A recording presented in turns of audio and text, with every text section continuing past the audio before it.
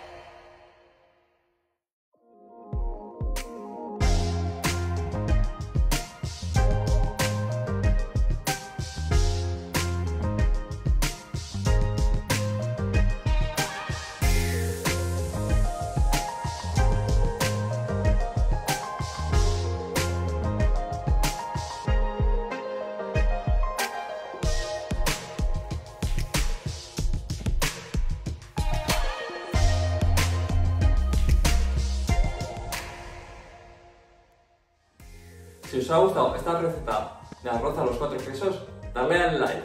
Dale a la campanita para que te avise del próximo vídeo Suscríbete a nuestro canal, y deja tu comentario.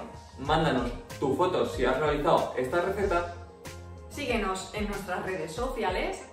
y recuerda, Disfruta disfruta de tu tiempo en la cocina.